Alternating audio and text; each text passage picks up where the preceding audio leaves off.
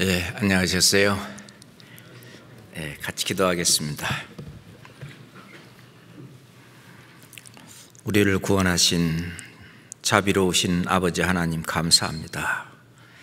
영원히 멸망받아 마땅할 저희를 불쌍히 여기시고 독생자 예수 그리스도를 이 땅에 보내셔서 저희의 평생 짓는 그 모든 죄를 예수님에게 담당케 하시고 저희가 받을 저주와 심판을 대신하심으로 십자가에서 피 흘려 돌아가시고 우리의 모든 죄를 사하신 그 크신 사랑과 은혜에 진심으로 감사합니다. 예수님의 피로 거듭난 저희들 이제 그 사랑을 가슴에 담고 형제자매 사랑하고 밖으로 이 사랑을 증거하는 일에 부족함이 없도록 늘 저희들 마음을 주님과 가까이 하게 하시고 또 형제 자매들과 함께 합력하여 큰 일을 이뤄낼 수 있도록 인도해 주시옵소서. 다가오는 수양에도 많은 영혼들을 인도하여 그들로 하여금 살아계신 하나님을 깨달아 알게 하시고 예수 그리스도를 통한 그 천국 복음을 마음속에 받아들여 구원을 받을 수 있도록 주님 역사해 주시옵소서. 부족한 저희들, 연약한 저희들, 우리 주님의 일꾼으로 삼아주시고 주님의 일을 위해서 최선을 다할 수 있도록 인도해 주시옵소서. 이번 주간에도 많은 곳에서 복음이 증거되고 있습니다. 그리스도의 복음이 증거되는 곳마다 우리 주 성령께서 강한 역사로 나타나셔서 우리 주님의 역사하시는 그 일들을 저희들이 눈으로 보고 귀로 듣고 마음으로 더욱 느낄 수 있도록 주님 함께 해 주시옵소서. 많은 영혼들 다 구원을 받을 수 있도록 역사해 주시옵소서. 오늘도 저희들에게 마땅한 말씀으로 인도하시고 저희들의 삶을 잡아 주시옵소서. 예수 그리스도 이름으로 기도드렸습니다. 아멘. 네, 성경 누가복음 17장을 보겠습니다. 누가복음 17장 누가복음 17장 5절부터 예, 누가복음 17장 5절부터 보겠습니다. 사도들이 죽게 여짜오되 우리에게 믿음을 더하소서 하니 주께서 가라사대 너희가 겨자씨 하나할 만한 믿음이 있었다면 이 뽕나무더러 뿌리가 뽑혀 바다에 심기우라 하였을 것이요 그것이 너희에게 순종하였으리라 너희 중에 네게 밭을 갈거나 양을 치거나 하는 종이 있어 밭에서 돌아오면 저더러 곧 와 앉아서 먹으라 할 자가 있느냐? 도리어 저더러 내 먹을 것을 예비하고 띠를 띠고 나의 먹고 마시는 동안에 수종 들고 너는 그 후에 먹고 마시라 하지 않겠느냐? 명한 대로 하였다고 종에게 살해하겠느냐? 이와 같이 너희도 명령을 받은 것을 행한 후에 이르기를 우리는 무익한 종이라 우리의 하여야 할 일을 한 것 뿐이니라 할지니라. 예. 예. 오늘은 주 예수 그리스도의 종이라고 하는 제목을 가지고 예, 이 말씀을 통해서 은혜를 받고자 합니다. 예, 지금 시대에는 뭐 종이라든지 노예라든지 이런 것이 없는 시대였습니다만은 이 성경이 기록될 당시만 하더라도 예, 로마가 많은 노예들을 거느리고 있었고 또 심지어는 어, 이스라엘 사람들도 그 대제사장도 종이 있었습니다. 또 부자들도 종 노예 예, 그 이스라엘 사회 안에서도 주인과 그리고 종, 예, 뭐 말할, 말하자면 노예죠. 그런 그 관계가 많았었습니다. 우리 조선시대만 하더라도 양반이 있고 그 다음에 양, 양반 밑에서 일하는 모습이라든지 예, 그래서 어, 어떤 주종 관계를 이루는 예, 그런 사회가 있었습니다. 근데 점점 그것이 이제 예, 무너져서 지금은 주와 종의 관계를 예, 올바로 정립하지 못하는 그런 경우가 있습니다. 여기 성경에 주께서 또는 주께 여짜오되 할 때 이 주가 구약 성경에서는 여호와입니다. 어, 구약 성경에 여호와 하나님 여호와가 신약 성경에서는 전부 다, 다 주로 되어 있습니다. 영어로 말하면 Lord 그것도 대문자로 써서 Lord가 R 아, L O R D를 전부 대문자로 씁니다. 그래서 에, 하나님을 이야기하는데 사도들이 주께 여짜오다라고 하는 이 주도 Lord예요.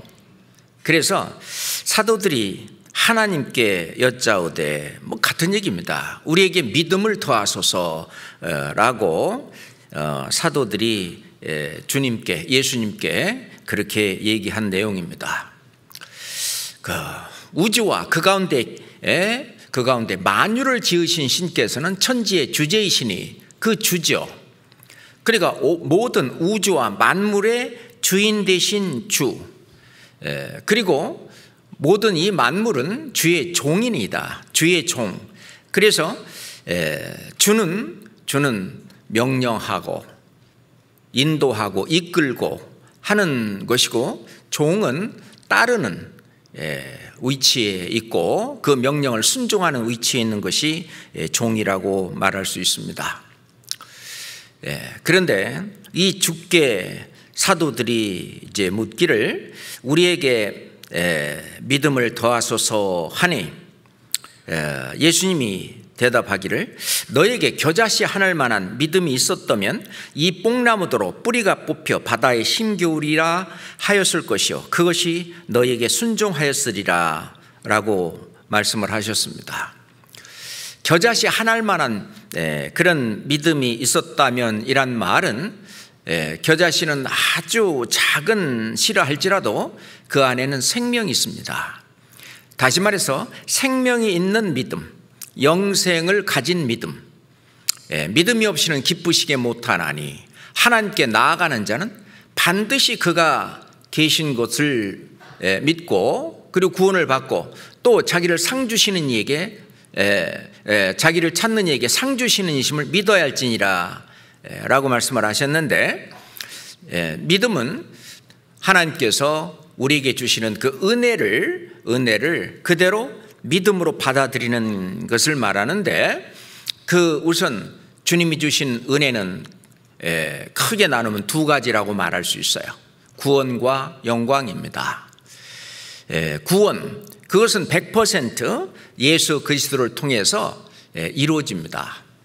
그래서 예수 그리스도께서 십자가에서 이루어지신 그 크신 사랑 100% 죄사함으로 말미암는 구원을 받아서 천국 들어갈 수 있는 영생 얻을 수 있는 그런 길을 열어주신 그 은혜가 있습니다. 그리고 또한 우리가 그냥 구원받고 천국 들어가서 그냥 사는 것이 아니라 구원받고 그 이후에 어떻게 살았냐는 그 삶을 가지고 하나님께서 나중에 상급으로 영광으로 채워주시는데 그게 이제 또 우리에게 더해주시는 은혜입니다.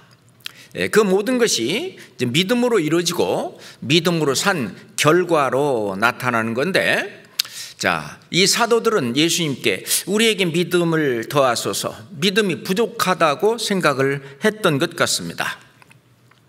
그 믿음이라고 하는 것은 실은 예수 그리스도가 하신 그 은혜를 100% 내가 받아들임으로 말미암아 깨닫고 받아들임 말미암아 구원을 받고 그리고 우리가 하나님이 약속하신 그 하나님의 말씀을 순종하는 그 삶을 통해서 우리가 주시는 상급을 받는 예, 그것이 이제 믿음인데 신앙생활이죠. 믿음의 생활, 신앙생활입니다.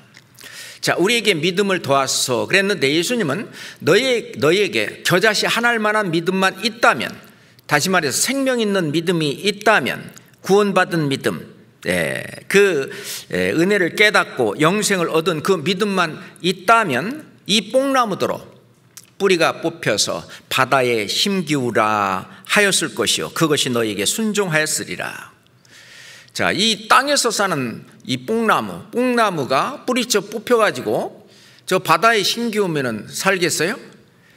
예, 원래 땅에 사는 그 뽕나무라면은 아마 바다에서는 그 짠물에서 살지 못할 거예요. 예, 이건 그 뭘 말씀하시려고 예수님이 그렇게 말씀을 하셨냐? 이 뽕나무는 이 세상에 뿌리를 받고 사는 예, 그런 뿌리를 받고 아주 또 예, 이불이 피고 열매를 맺히는 그런 나무인데 예, 이 땅에서 모든 것을 다 예, 얻고 사는 그거에서 예, 뿌리채 뽑혀가지고 바다의 심기울이라라고 하는 것은 이 예, 이제 그 바다는 하나님의 계획 또는 하나님의 말씀이죠. 하나님의 말씀에 완전히 젖어서 또는 하나님의 계획 속에 내 자신을 던져서 그것에 의지해서 예, 다른 삶을 살아가는 예, 그것을 설명하고 있습니다. 그래서 그것이 너에게 순종하였으리라 라고 얘기를 하는데 여기서 너희라고 하는 것입니다. 이 너희가 7절에 너희 중에 하는 너희하고 연결이 되죠. 그래서 너희 중에 네게 밭을 갈거나 양을 치거나 하는 종이 있어서라고 하는 너희 중에라고 하는 너희는 이 뽕나무 뿌리가 뽑혀서 예, 바다에 심기운 그러니까 뽕나무 뿌리가 빠져나간 그런 그리스도인 예, 다시 말해서 이 세상에서 모든 만족과 행복과 그 모든 것을 추구하고 살던 그 삶에서 떠나서 예, 바로 말씀 안에서 또는 하나님의 계획 속에서 예, 자기 자신을 거기에 의지하고 맡기고 살아가는 그 삶을 산 예, 자기의 머리를 잘라내고 예수 그리스도의를 머리로 성령을 받아들여서 이 성령의 뜻에 순종해서 사는 그 사람, 예, 완전히 그 사람이 바로 너희라고 볼 수 있습니다. 그럼 너희 중에 네게 밭을 갈거나 또는 양을 치거나 하는 종이 있다. 응? 종이 에, 있다고 함 종이 있다고 한번 쳐보자. 그 이제 하루 종일 밭에서 에, 일하다가 돌아오면 음, 저들어 와서 이제 고생했으니까 수고했으니까 완저 앉아서 먹으라 할 자가 있겠느냐?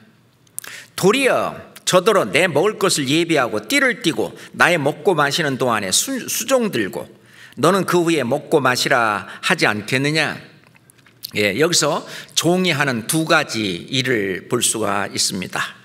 하나는 밭에 나가서 일하는 다시 말해서 주님의 일을 예, 바로 예수 그리스도의 일, 하나님의 일을 하는 봉사의 일이 있습니다.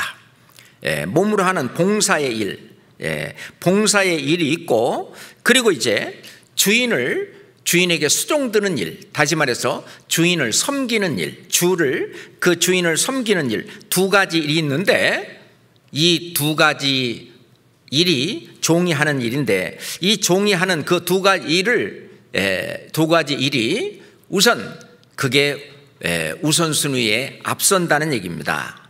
그래서 어, 어떤 이제 종이 내가 주님의 일을 봉사하는 일을 아주 열심히 하고 잘했다고 으쓱대고 어, 남이 알아주기를 바라고 음, 뭐, 예, 그렇게 하는 것은 합당한 종이 아니라는 것이죠. 어, 우선 예, 교회를 위해서 또는 주님을 위해서 봉사하는 일을 또 하고 그리고 섬기는 일을 해야 되는데 지금은 우리가 하나님을 섬기고 예수 그리스도를 섬기는 일은 바로 형제 자매를 섬기는 일이 바로 하나님을 섬기고 예수 그리스도를 섬기는 일입니다. 예수님 말씀하신 것처럼 이 소자 중에 하나에게 한 것이 바로 내게 한 것이다 라고 말씀을 하셨고 예전에 사울이었을 때 사울이었을 때 사울아 사울아 어찌하여 나를 핍박하느냐 제가 언제 핍박했습니까? 잘 알지도 못하는데 네. 그 예수 그리스도를 믿고 섬기고 따르고 하는 그 그리스도인을 핍박하는 것이 바로 나를 핍박하는 것이다 라고도 말씀하는 걸 보고도 우리는 알 수 있습니다. 자, 그래서 이 종이 하는 큰 일이 두 가지가 있죠. 하나는 예, 봉사하는 일, 또 하나는 성도, 형제, 자매를 섬기는 일입니다. 예, 그리고 나서 그 다음에 예, 자기의 일을 하는 그 우선순위가 그렇게 해서 주님을 주님의 일과 주님을 섬기는 일을 가장 귀히 여기고 그리고 자기 일을 맨 나중에 하는 그 우선순위가 올바로 받쳐진 너희는 먼저 그의 나라와 그의 의를 거하라. 그리야만 이 모든 것을 너에게 도하시리라 하는 말씀처럼 그 종이 해야 될 일이라고 볼 수 있죠. 그런데 그 종이 말이죠. 그 10절에 이와 같이 너희도 명령 받은 것을 다 행한 후에 이르기를 우리는 무익한 종이라 우리의 할 일을 한 것뿐이라 할지니라. 자, 무익한 종이라 라고 하는 것은 예, 무익한이란 말은 보잘것없는 하찮은 그런 뜻입니다. Yes, unworthy servant 그렇게 말하는데 그 하찮은 뭐 보잘것없는 종입니다. 예수 그리스도가 벌레 맛도 못한 나 구더기 같은 나를 위해서 죽기까지 한 크신 사랑을 나한테 베풀었는데 예, 저는 뭐 이렇게 하는 것이 정말 합당하고도 합당합니다. 예, 그런 일이죠. 그래서 예, 실은 우리가 이 세상에서도 예, 어떤 그 갑이 있고 을이 있다. 그래서 뭐 갑질한다 또는 을이 또 을질한다 그런 얘기가 있는데 뭐 갑질이든 을질이든 좋지 않은 그런 의미로 사용되고 있습니다. 우리가 좋은 그런 주인을 만나면 만난 그 좋은 상전, 좋은 어떤 주 주인을 만나게 되면 정말 그 생활이나 그 모든 하는 일이나 모든 것이 즐겁고 그리고 기쁘고 행복하고 보람찬 일을 할 수가 있을 겁니다. 그런데 이 세상에서 음, 역사상을 통해서 보든 뭐를 보든 간에 정말 주다운 주, 상전 같은 상전, 그것은 바로 우리를 구원하신 우리 주 예수 그리스도밖에는 없죠. 그래서 예수 그리스도, 그분이 나의 머리가 되고 나는 그 나의 주 예수 그리스도의 종이 되어서 주종 관계를 이룰 때 그게 정말 행복하고 보람차고 그리고 또 그 삶이나 생활이 정말 만족스러운 삶이 될 거라고 생각을 합니다. 왜냐하면 주 예수 그리스도 그분은 전지전능하신 분이고 모든 것을 다 의의 길로 또는 선한 길로 거룩한 길로 인도하시는 분이기 때문에 그분의 뜻에 따라 그분이 인도하시는 것에 따라서 이 순종하고 사는 삶은 정말 올바른 삶, 예, 그 자체가 될 것이 틀림이 없습니다. 예, 사도행전 2장 36절 보겠습니다. 사도행전 2장 36절입니다. 그런즉 이스라엘 온 집이 정령이 알지니 너희가 십자가에 못 박은 이 예수를 같이 읽겠습니다. 하나님이 주와 그리스도가 되게 하셨느니라 하니라. 예. 이스라엘 온 집이 정령 알지니 이스라엘 온 집뿐만 아니라 우리도 알아야 될 말씀입니다. 너희가 십자가에 못 박은 못 박은 이 예수를 하나님이 주와 그리스도가 되게 하셨느니라.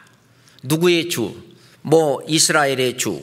예. 이스라엘 민족의 그리스도 뿐만 아니라 예, 하나님은 이방인의 하나님도 되시느니라. 우리 우리 주, 나의 주, 나의 그리스도가 되게 하셨느니라.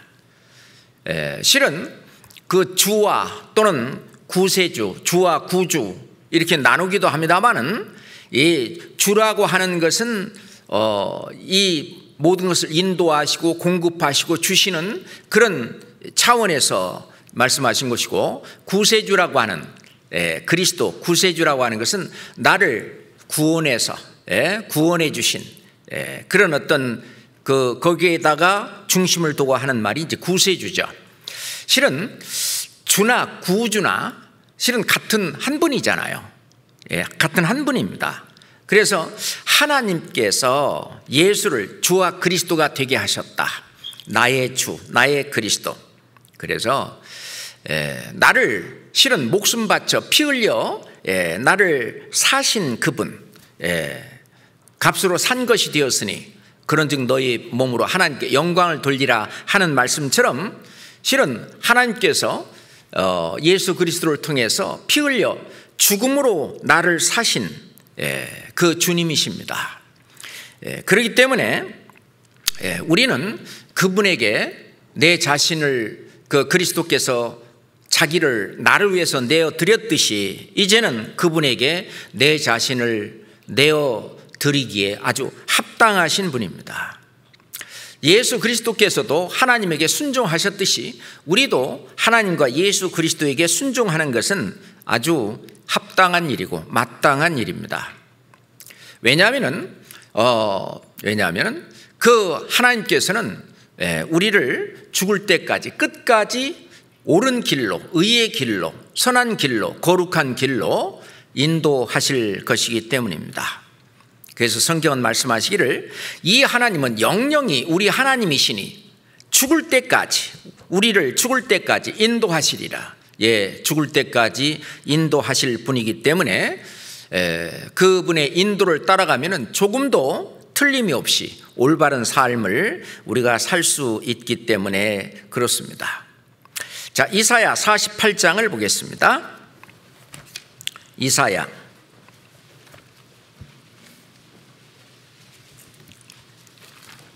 48장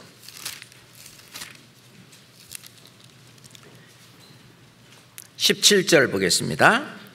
이사야 48장 17절 너의 너희 구속자시요 이스라엘의 거룩하신 자이신 여호와께서 가라스 때 나는 내게 유익하도록 가르치고 너를 마땅히 행할 길로 인도하는 너희 하나님 여호와로 이게 주죠. 이 주는요, 리더, 인도자. 앞에서 이끌고 나가시는 분, 그게 주거든요. 그러니까, 예, 우리를 어디로, 예, 너를 마땅히 행할 길로 인도하시는 너의 하나님, 여호와라. 하나님은, 예, 우, 그 나를 가르치도 내게 유익하도록 가르치실 뿐만 아니라 나를 마땅히 행할 길로 인도하시는 주입니다. 그러니까 그분을 예, 그분의 뜻에 그분의 말씀에 순종해 가는 것이 우리가 그 인도함을 받는 것이죠. 예. 진리의 성령이 오면은 진리의 성령이 오시면 그가 너희를 모든 진리 가운데로 진리 가운데로 인도하시리니. 그래서 성령의 이름이 그 이름이 여러 가지죠. 어? 어, 예수의 영, 그리스도의 영, 하나님의 영, 거룩한 영, 성령, 또 진리의 영, 어, 의의, 에? 의의 영. 하여튼 그, 예, 이 성령, 이 성령은 바로, 예, 거룩한 영. 그런데, 예, 이 성령은 말씀을 통해서 역사하시는 진리의 영이기 때문에 진리의 성령이 오시면 그가 너희를 모든 진리 가운데로 인도하시리라. 이 진리라고 하는 것은요, 예, 세 가지 속성이 있죠. 첫 번째, 이 진리라고 하는 것은 사실성, 그게 사실이어야 됩니다. 두 번째, 보편성, 모든 사람에게 다 똑같이 적용될 수 있어야 됩니다. 세 번째, 불변성, 영원히 그것이 변치 않아야 되죠. 불변성. 그러니까 하나님께서는 나를 인도하시는데 어떤 거짓된 길이 아니라 어떤 진리, 진, 참 진짜 그 올바른 길로 의의 길로 그리고 나에게도 그것은 적용이 되고 영원히 변치 않는 그 진리 가운데로 그 그것이 말씀인데 말씀 가운데로 인도하십니다. 그렇죠. 그래서 대살로니전서 5장 19절 20절에 보면 성령을 소멸치 말며 예언을 멸시치 말고란 말이 있는데 성령을 소멸치 마라란 말은 이 성령께서는 이렇게 나를 자 빨리 가자 나를 이렇게 이끌고 가기를 원하십니다. 그것은 성령의 불길로 표현을 했는데 성령의 불길이 확확 일어나서 내 마음속에 우러나서 그걸 하고 싶어서 그렇게 가고 싶은 마음을 불릴 듯 일어서 이끌고 가시는데 성령을 소멸한다는 말은 그 성령의 불길을 끄지 말며 라고 성경에 되어 있는데 영어로는 do not put out the fire of the spirit 성령의 불길을 끄지 마라. 어, 그러니까 하나님께서 나를 이렇게 예, 의의 길로 이렇게 말씀으로 이렇게 주인이 돼서 인도자가 돼서 이끌고 나가고자 하는데 그거를 예, 그 그거를 내가 막고 불순종하고 함으로 해서 예, 성령의 불길을 끄는 그런 일이 된다는 것입니다. 예. 우리가 예수 그리스도, 음? 그 성령이 내 마음에 오게 되면은 주 예수 내 마음에 들어와 계신 후, 예. 변하여 새 사람 되고, 그래서 예전과 다른 새 사람으로서의 삶을 이끌어 갈 수 있도록 예, 그렇게 새로운 인도자가 되는 것입니다. 그렇죠? 그 이제 그 인도자 그리고 나를 이끌어 가실 뿐만 아니라 나의 그 모든 것, 예, 나의 모든 것을 책임지시고 그리고 이끌어 가시는 그 주, 그 밑에 나는 종이라고 하는 것입니다. 그래서 주종 관계, 주와 종의 관계, 하나님과 나와의 관계가 여러 관계로 설명을 하죠. 아버지와 아들의 관계로 설명하기도 하고 남편과 아내의 관계로 설명을 하기도 합니다. 예? 또는 부모와 자식 간의 관계로도 설명을 하기도 하고. 예. 그런데 예? 그런데 이, 에, 이 성령 성령 하나님과 그리고 나와의 관계를 이 주와 종의 관계로 오늘은 이제 그 차원으로 말씀을 보는 것입니다. 세상 사람들이 섬기는 그 주가 있는데 그건 바로 우상이죠. 우상은 마음에서부터 시작됩니다. 마음에 있는 우상이 있고요. 그리고 실제로 어떤 형상이 없어도 어, 우상이 될 수가 있고 형상을 만들고 우상할 수도 있고 또는 자기가 하는 일이 우상일 수도 있고요. 어, 그 우상 그러니까 하나님께로부터 받아야 될 기쁨과 즐거움과 만족과 행복과 이 모든 것을 하나님을 하나님을 예, 떠나서 떠나서 이 세상의 것들로 그 행복과 만족과 예, 기쁨과 즐거움을 찾고자 하는 그 대상이 다 우상이라고 말할 수 있습니다. 그래서 탐심은 우상숭배니라 라고 말씀하신 것이 바로 그것에 연결되는 말씀입니다. 예. 그래서 이 세상 사람들이 예, 그 생각하는 것에서 과연 이 세상 사람들은 어디에서 만족과 행복과 기쁨과 즐거움을 찾으려고 하느냐? 이 세상에서 찾으려고 하죠. 그게 이제 자기가 예, 하나님을 예, 하나님을 떠나서 하나님 없이 거기에서 모든 걸 추교하려고 하는 그것이 다 우상인데 그 첫 번째가 돈이죠. 예. 그래서 돈, 뭐 재물이라고 말할 수 있죠. 돈, 재물. 그래서 세상 사람들은 이 돈을 돈을 바로 주로. 음. 그래서 실은 말은 안 하지만 예, 그들의 주님은 바로 돈입니다. 돈에 따라서 울고 웃고 돈에 따라서 예, 어떤 행복과 불행이 예, 거기에서 완전히 갈라지고 완전히 돈이 우상이 되는 겁니다. 그래서 예수님은 한 사람이 두 주인을 섬기지 못할지니 혹 이를 미워하거나 혹 저를 사랑하거나 혹 이를 중히 여기거나 또는 저를 경히 여깁니다. 너희가 하나님과 재물을 겸하여 섬길 수 없느니라 라고 말씀하신 이유가 바로 그것입니다. 하나님을 섬기면서 하나님 안에서 정말 큰 기쁨과 즐거움과 만족과 행복과 그 모든 그 안식과 그것이 다 하나님 안에 있는데 있는데 이 세상 사람들은 그것을 버리고 예, 버리고 이 재물 또는 돈 거기에서 이 모든 것을 찾으려고 하는 것이죠. 근데 그리스도인도 그리스도인도 양쪽에서 다 찾으려고 한다는 거예요.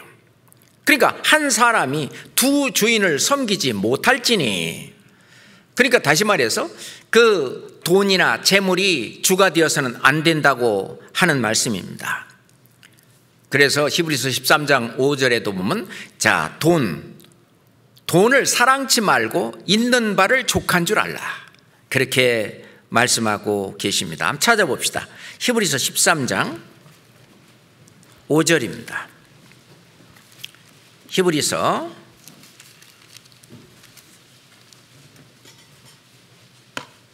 13장 5절입니다.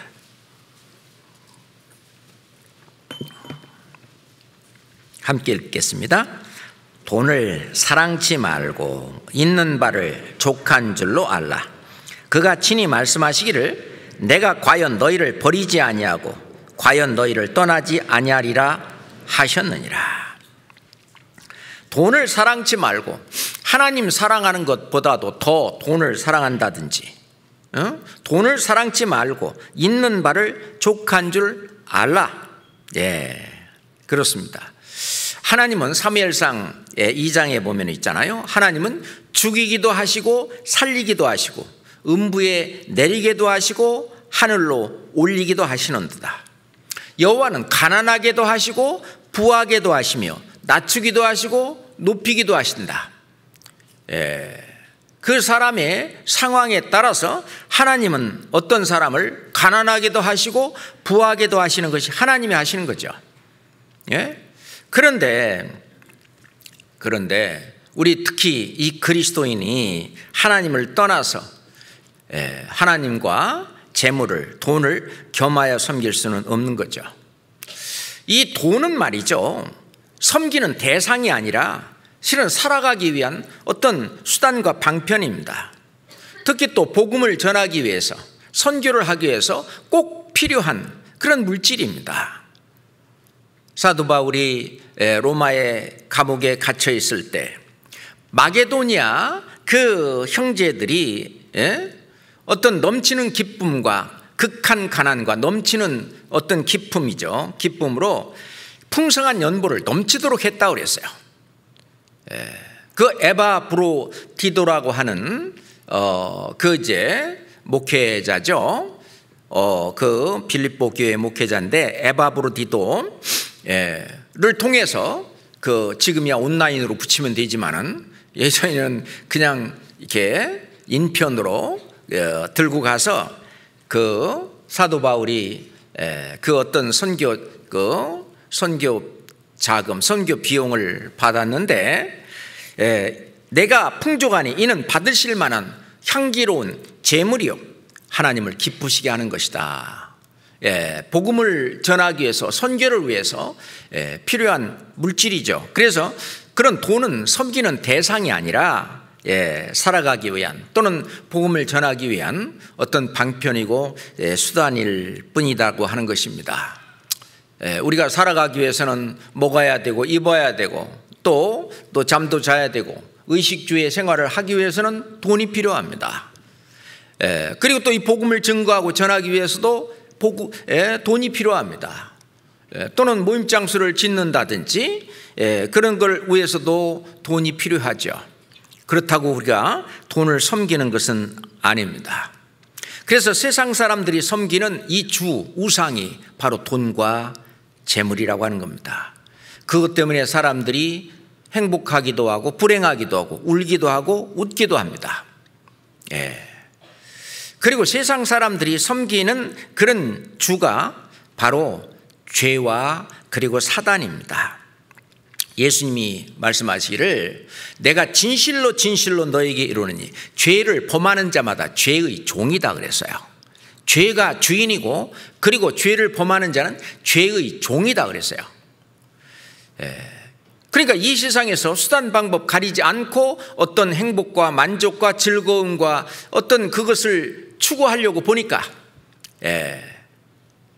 이 죄에 빠질 수밖에 없는 거죠. 예. 그 세상을 사랑하다 보니까 그래서 요한일서 찾아봅시다. 요한일서 2장 15절 요한일서 2장 15절부터 이 세상이나 세상에 있는 것들을 사랑치 말라. 누구든지 세상을 사랑하면 아버지의 사랑이 그 속에 있지 아니하니 이는 세상에 있는 모든 것이 육신의 정욕과 안목의 정욕과 이생의 자랑이니 다 아버지께, 아버지께로 쫓아온 것이 아니요 세상으로 쫓아온 것이다. 자 이것은 세상으로 쫓아온 예, 여기에서 육신의 정욕과 안목의 정욕과 이생의 자랑, 이 세상에 있는 이 모든 것으로 만족을 얻으려고 하고 행복을 찾으려고 하고 즐거움을 예, 만끽하려고 하는 이것은 다 예, 이것은 다 하나님을 떠나서 하나님 없이 얻으려고 하는 그게 바로 우상이죠. 그거에 그것에 사람들은 종이 되어 있는 것입니다. 안목의 정욕과 예, 또 육신의 정욕과 이생의 자랑 이건 다 세상으로 쫓아온 것이다 그랬는데 쫓아온 것이라 그랬는데 이 세상 임금이 마귀라고 예, 마귀라고 말씀을 예수님도 말씀을 하셨죠. 그런데 이 마귀가 마귀가 이 모든 것을 다 예, 육신과 이 육신과 그리고 이 세상에 있는 모든 것을 추구하도록 그렇게 그렇게 계속 부추기고 있는 이 마귀가 어디 사냐 그거예요. 예전에는 진선미라고 했는데 요즘에는 요즘은 거꾸로 돼서 미가 겉으로 볼 때 이쁘고 아름답고 이것을 최고로 치고 있습니다. 이 완전히 거꾸로 돼 있죠. 원래 이 진리, 진, 참된 것 이게 제일 우선되어야 하는데 그렇지 않고 예, 미가 아, 예쁘고 아름답고 이것이 맨 앞으로 가는 이런 예, 세상이 바로 마귀가 자꾸 그 유도하는 세상을 볼 수 있는데 그 마귀가 실은 세상 임금일 뿐만 아니라 구원받지 않은 사람들 그 영혼 속에 자리 잡고 예, 그 속에서 살고 있습니다. 에베소서 2장에 보면은 그때 너희가 예, 그 가운데서 행하여 이 세상 풍속을 좇고 공중의 권세 잡은 자를 따랐으니 지금 곧 불순종의 아들들 가운데 역사하는 영이라. 지금 구원받지 않은 사람들 속에 역사하는 그 영, 예, 그 영. 예, 전에는 우리도 다 그 가운데서 행했다. 그래서 육체의 욕심을 따라 지내며 육체와 그리고 마음에 원하는 것을 하여 다른 이들과 같이 본질상 진노의 자녀였었다 라고 예, 말씀하시면서 실은 그것을 주장하고 조장하는 그 마귀, 그 귀신, 예, 그게 어디 있었느냐? 자, 성경 누가복음 11장 봅시다. 누가복음 11장 24절부터 봅시다.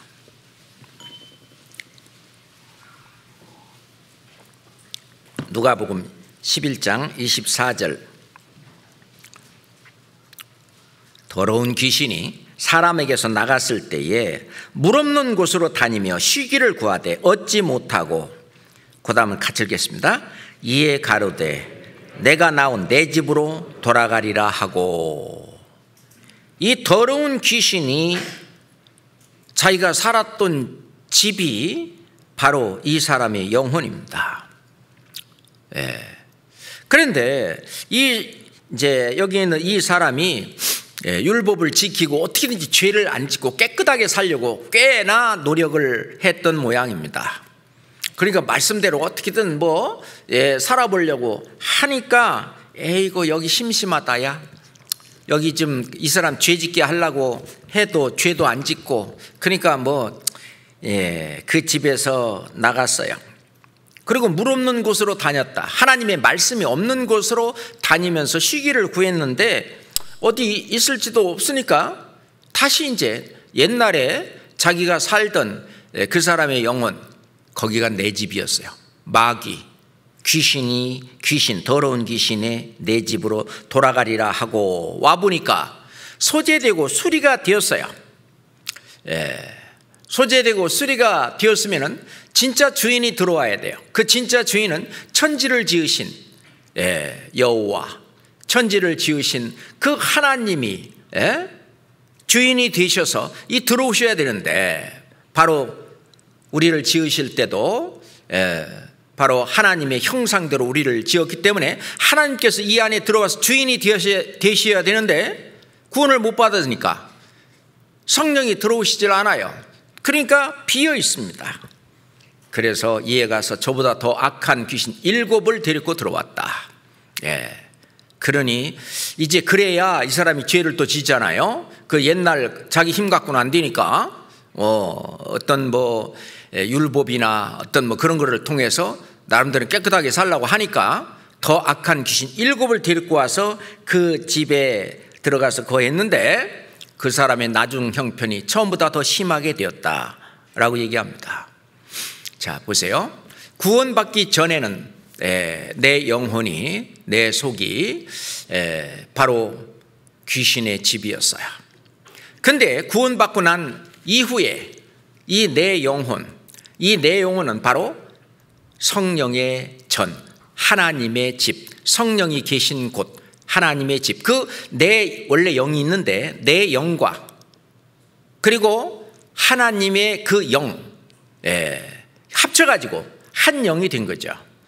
그래서 고린도전서 6장 17절에 있는 것처럼 예, 그 내 영과 하나님의 영이 하나 돼서 분리할래야 분리될 수 없는 그 영, 그 집이 바로 내 마음이에요.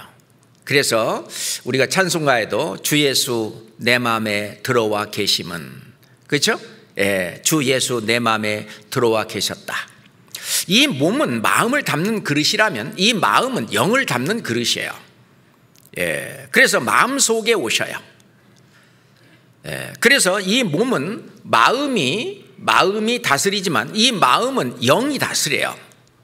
그 선한 양심이 하나님을 찾아가는 것인데 그 선한 양심, 그 깨끗한 그 성령께서 이 마음을 다스리시고 또 이 마음이 또 육신까지 다스리기 때문에 그래서 구원받지 못한 것은 깨끗한 바리새인 율법사 서기관들에게 너희는 먼저 안을 깨끗이 하라.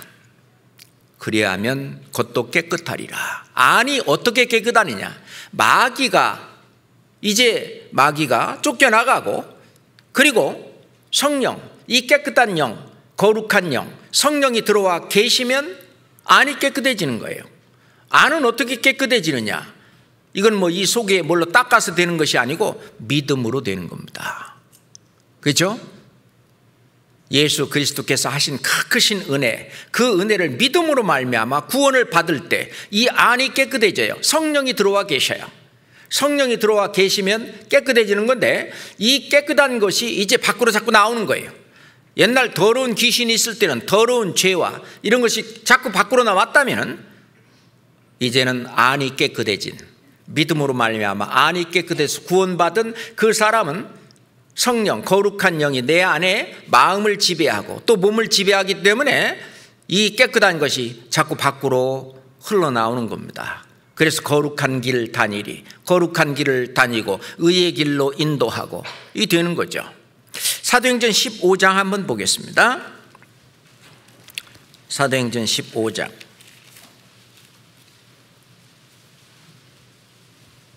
8절, 9절 보겠습니다. 사도행전 15장 8절, 9절입니다. 또 마음을 아시는 하나님이 우리에게와 같이 저희에게도 성령을 주어 증거하시고 함께 읽어요. 믿음으로 저의 마음을 깨끗이 하사 저희나 우리나 분간치 아니하셨느니라. 믿음으로 저의 마음 그 안을 깨끗이 했다. 예, 구원받기 전에는 안에서 속에서 나오는 그 모든 것이 사람을 더럽게 하느니라. 예, 그래서 마가복음 7장에 있는 대로 속에서 마음에서 나오는 것은 악한 생각 곧 하고 12가지 예, 그런 죄들의 이름이 나오고 그리고 이 모든 것이 속에서 나와서 사람을 더럽게 하느니라. 그래서 너는 먼저 안을 깨끗이 하라. 성령. 그 성령이 주가 되면 이제 우리의 삶이 깨끗해지고 거룩해지고 선해지고 하나님이 원하시고 기뻐하시는 그 길로 이 성령께서 주가 돼서 인도할 수가 있는 것이죠. 문제는 그거에 순종하느냐 안 하느냐가 이제 문제인데 순종을 하려면은 그 아직도 육신이 남아 있는 육신의 생각, 육신의 뜻, 육신의 계획, 육신의 고집이 있어요. 그걸 버려야 돼요. 그것이 바로 사도 바울이 말씀하시는 나는 날마다 죽노라. 그걸 버리는 거죠. 내 뜻 버리고 그리고 성령의 뜻대로 주의 뜻대로 예, 주의 뜻이면 이것도 하고 저것도 하리라 하거늘 이 주의 뜻대로 나를 그냥 드리는 거죠. 내 몸을 나를 그냥 주님의 뜻에 나를 맡기는 거죠. 드리는 겁니다.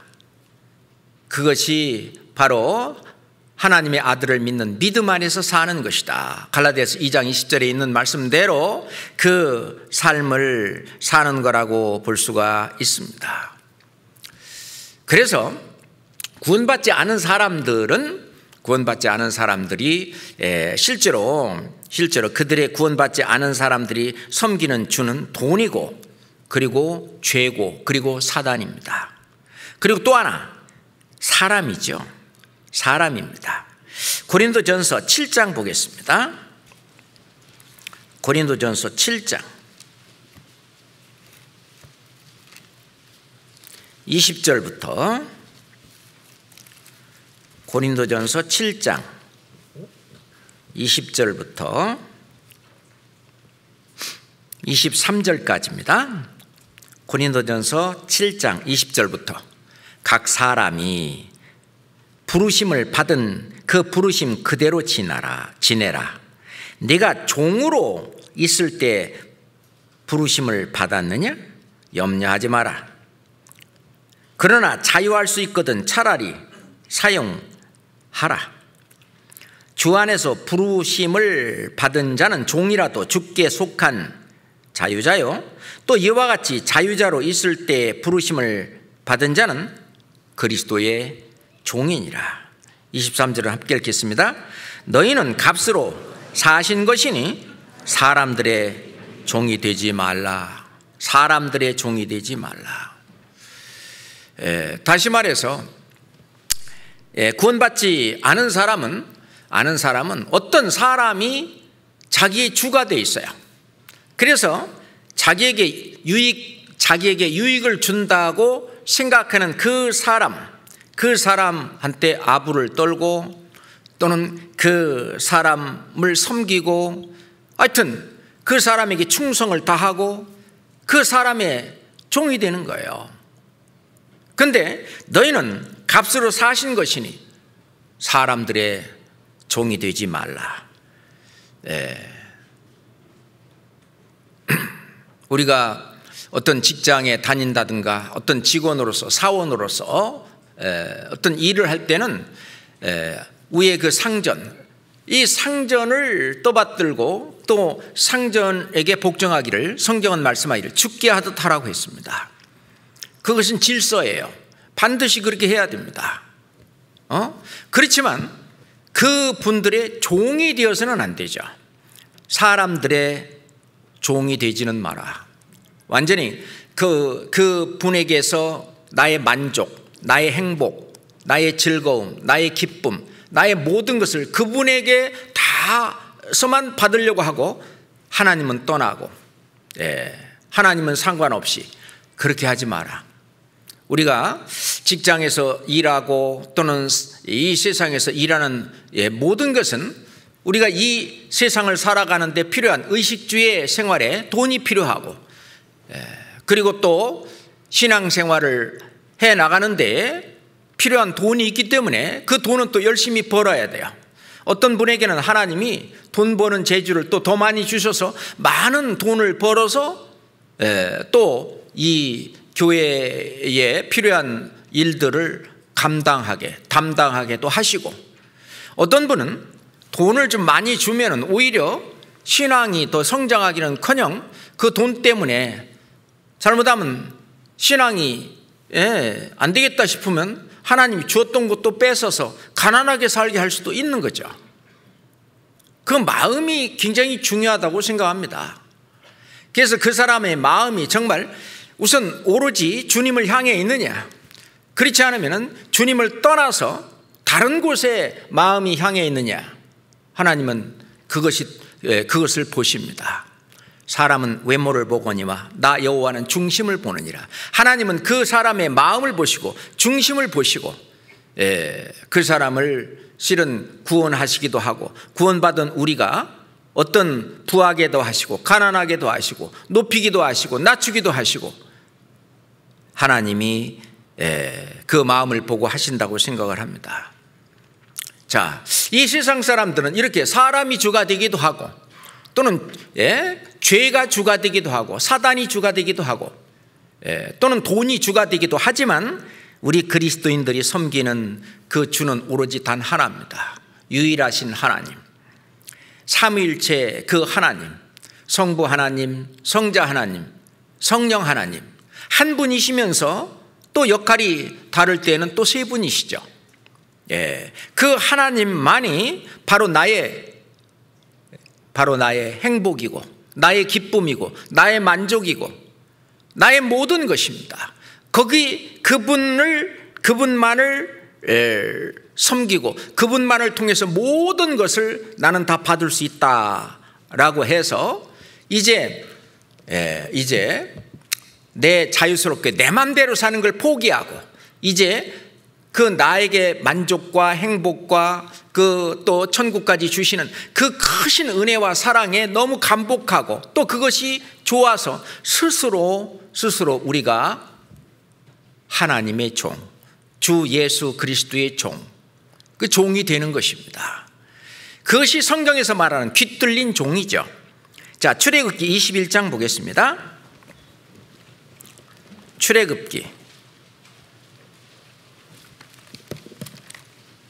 21장입니다. 5절, 6절 보겠습니다. 출애굽기 21장 5절, 6절입니다. 종이 진정으로 말하기를 내가 상전과 내 처자를 사랑하니 나가서 자유하지 않겠노라 하면 상전이 그를 데리고 재판장에게로 갈 것이요 또 그를 문이나 문설주 앞으로 데리고 가서 그것에다, 그것에다가 송곳으로 송곳으로 그 귀를 뚫을 것이라 그가 영영이 그 상전을 섬기리라. 예. 이 교제가 좋고 이 교회가 좋고 주님이 역사하시는 이것이 좋기 때문에 예, 나는 어, 내 자유스럽게 내 마음대로 이렇게 할 것이 아니라 네가 자유자로 있지만 너희는 그리스도의 종이다. 이제 그리스도의 종이 자진해서 자원해서 그래서 귀를 뚫는 거죠. 그 문에다가 대고 송곳으로 귀를 뚫는다는 문은 들락날락 하는 거죠.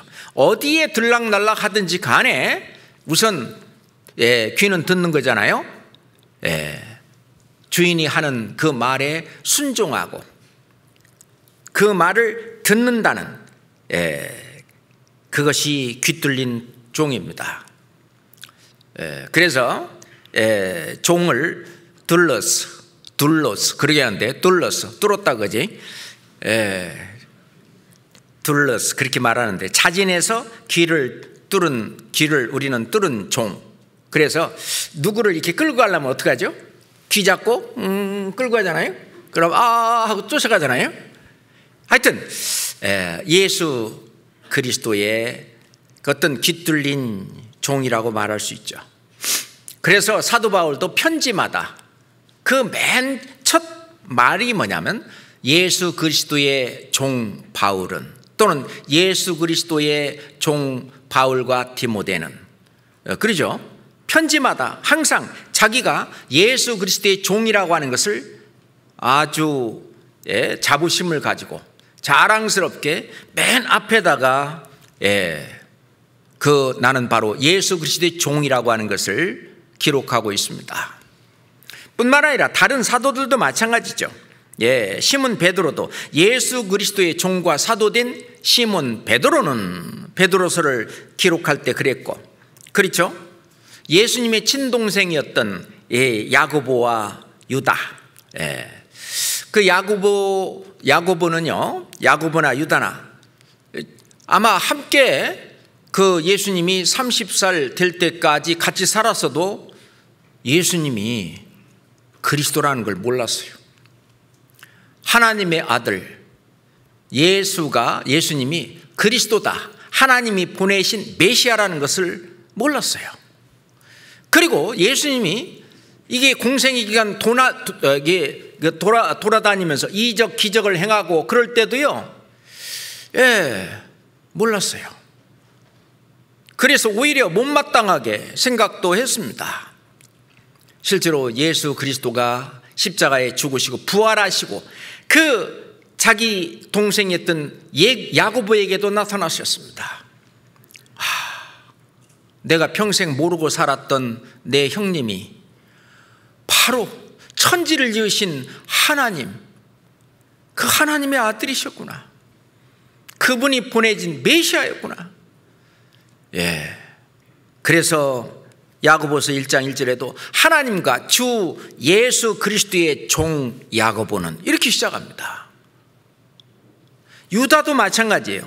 이 유다서를 기록한 유다는요. 가룟 유다하고 우리 말로는 유다, 유다 이름이 똑같지만 영어로는 틀려요. 영어로 가룟 유다는 주다스. 그리고 여기 그 예수님의 동생 유다는 주드, J-U-D-E 해서 이름이 틀립니다.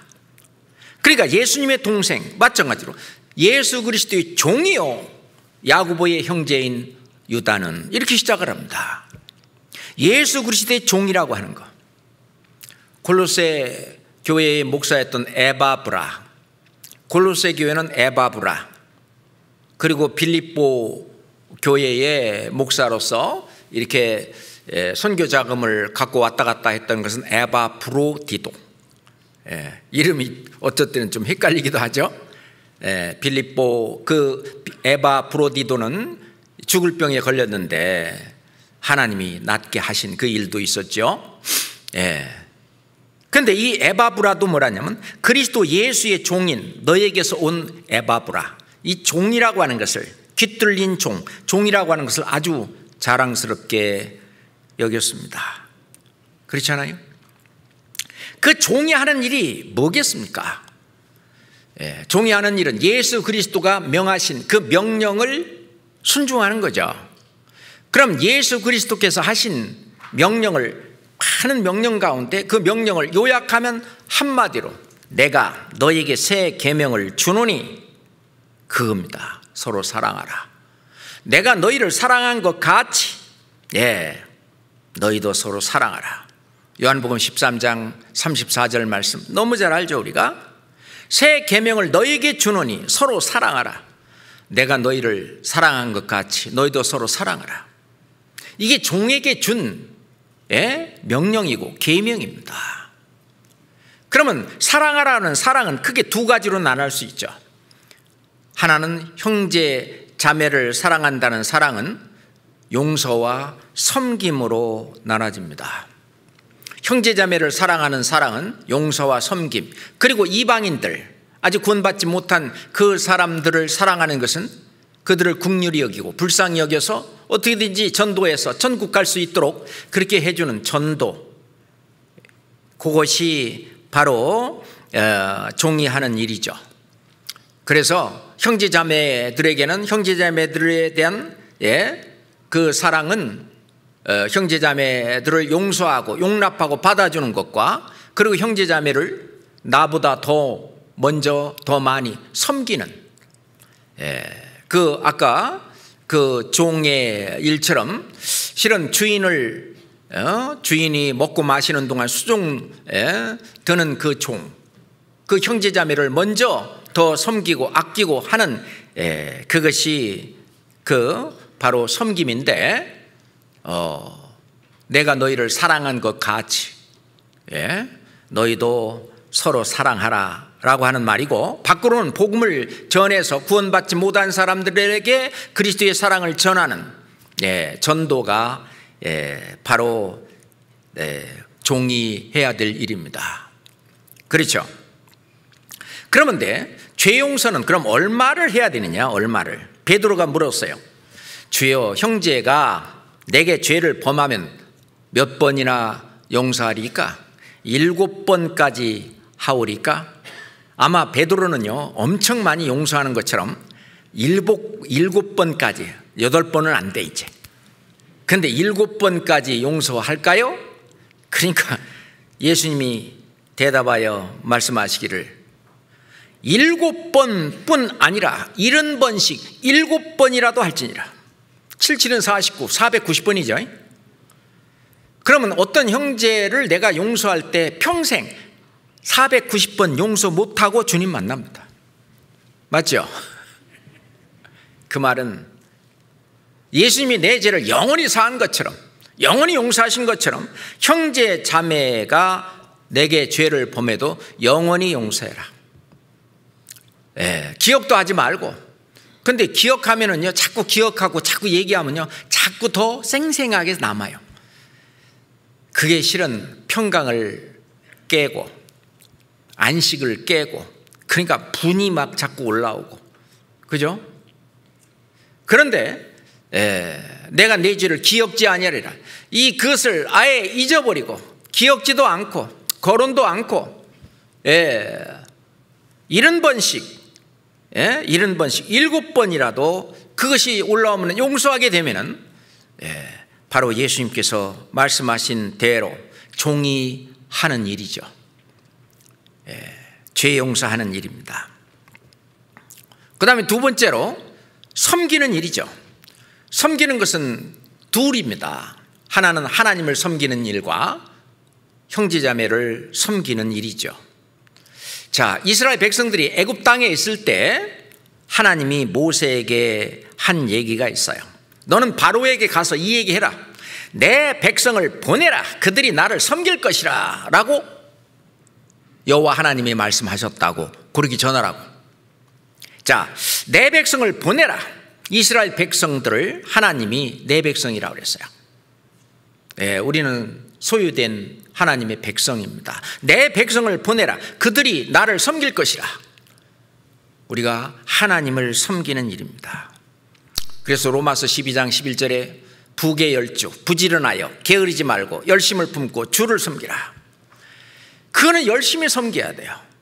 자, 우리가요 전도 집회 할 때는요 뭐 열심히 한다든지 뭐 행위로 한다는 것은 에, 그거는 소용없다. 이제 그 얘기를 하잖아요. 그거는 구원받기 위해서 소용없는 일이에요.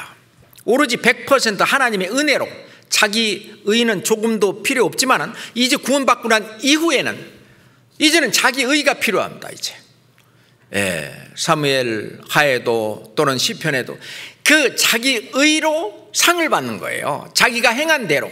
자기 의예요. 근데 그건 어떻게 해야 되냐? 열심히 하면 열심히 할수록 상을 더 많이 받는 거예요. 행한 대로, 일한 대로 갚아주리라. 그 말씀이잖아요? 열심을 품고 주를 섬기라. 이건 구원받은 사람만이 할 수 있는 거예요. 근데 구원받지도 않은 사람이 열심을 품고 주를 섬기고 하는 거 해서 천국 가려고 하는 그건 잘못된 거다 그거죠. 그렇지만 구원받은 사람은 이제 열심히 해야 됩니다. 부지런하여 게으르지 말고 에? 예? 게으르지 말고 부지런하여 열심을 품고 주를 섬기는 일을 해야 됩니다. 아주 중요한 일이고 두 번째는 성도를 섬기는 일입니다. 예수님 말씀하신 대로 예, 여기에 있는 너희 내 형, 예, 여기 네 형제 중에 지극히 작은 자 하나에게 한 것이 내게 한 것이다. 라고도 말씀을 하셨는데 실은 눈에 보이지 않는 하나님을 어떻게 네가 섬기냐? 눈에 보이는 형제 자매를 사랑하지도 못하면서 섬기지도 못하면서 눈에 보이는 네 형제 자매를 섬기고 사랑하는 것이 바로 나를 사랑하는 것이다라고 얘기하고 있습니다. 그렇죠. 바로 내 옆에 있는 형제 자매를 사랑하고 섬기는 것이 바로 주님을 섬기는 것입니다. 로마서 14장 18절입니다. 로마서 14장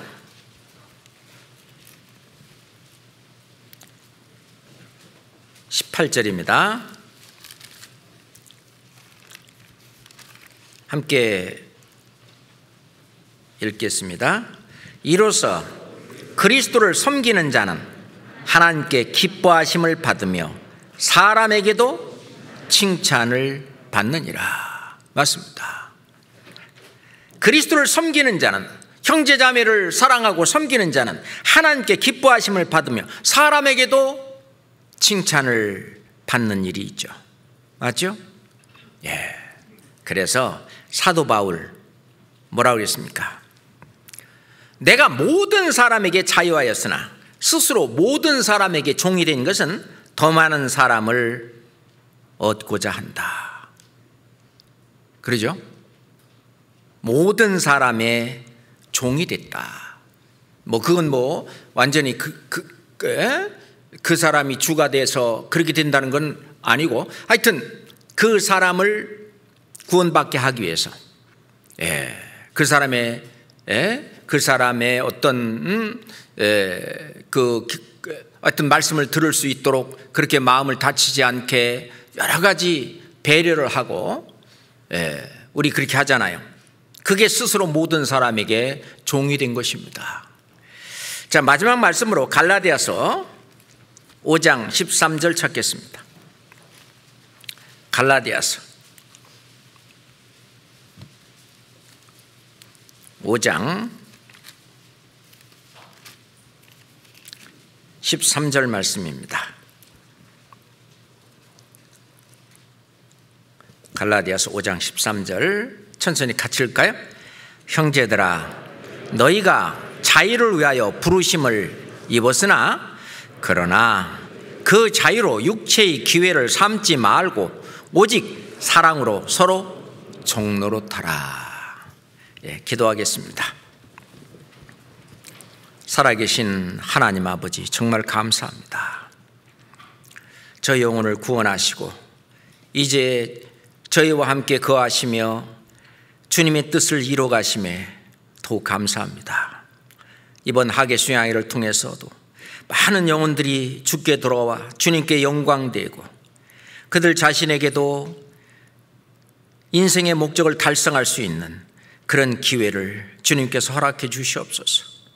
이번 하계 수양회를 통해서 주님의 기쁨이 되고 또 저희들에게 기쁨이 되고 행복이 될 수 있도록 함께 해 주시옵소서. 그 일을 위해서 저희들 게으르지 말고 부지런하여 열심을 품고 주님을 섬기는 그 일을 할 수 있도록 도와주시옵소서. 예수 그리스도 이름으로 기도드렸습니다. 아멘. 찬송가